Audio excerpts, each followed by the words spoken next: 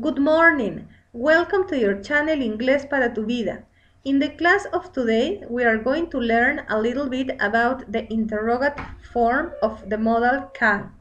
Estamos aprendiendo acerca de can, que significa poder, cuando obtenemos la habilidad de hacer algo, y ahora nos vamos a la forma interrogativa de este interesante modal verb.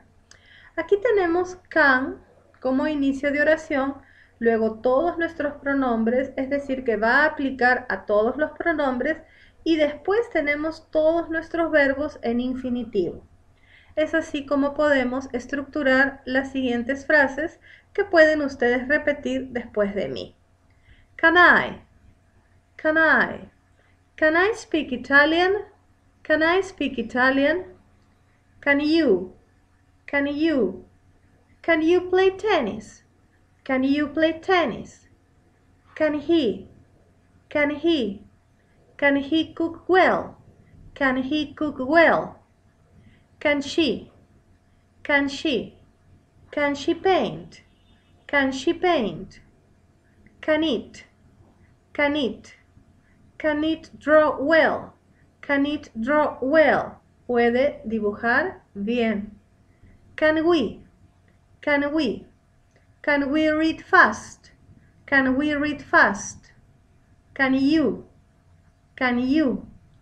Can you run fast? Can you run fast? Can they? Can they? Can they speak Italian? Can they speak Italian? Entonces, tenemos en cuenta que siempre vamos a utilizar can, luego todos los pronombres, es decir, que aplica para todos los pronombres, y nuestros verbos en infinitivo o en forma base. Vamos a repetirlos una vez más, pueden repetirlo después de mí para que se nos quede grabada la estructura. Can I? Can I?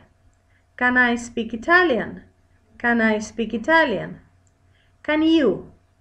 Can you? Can you play tennis? Can you play tennis? Can he? Can he?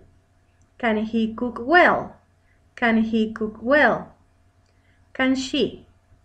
Can she? Can she paint? Can she paint? Can it? Can it? Can it draw well? Can it draw well? Can we? Can we? Can we read fast? Can we read fast? Can you? Can you? Can you run fast? Can you run fast? Can they? Can they? Can they speak Italian? Can they speak Italian? Excellent. Very good. Thank you very much for your attention. No olvide de suscribirse a este su canal Inglés para tu vida y nos vemos en el siguiente video para realizar ejercicios de utilidad sobre este interesante tema. Goodbye, class. Thank you very much.